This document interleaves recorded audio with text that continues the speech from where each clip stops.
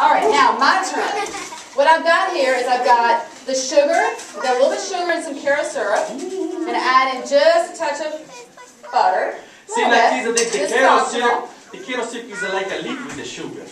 And remember, remember, we have a big bowl of popcorn, lots of fruit in there, lots of nuts. So don't get too concerned about what I'm putting in as far as the little bit of butter. Remember, it's going a long way. But this is a great way to make this popcorn. You're going to make the caramel popcorn, add in your uh, sunflower seeds. Now remember too, you can add in any fruit you want.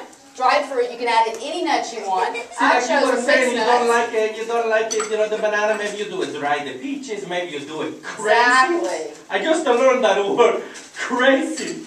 It's making, it's making me laugh. It makes it sound like you're a little cookie in the Yeah, head. yeah. Talk, talk about putting nuts in things. Yeah, You put a nut in the show, right?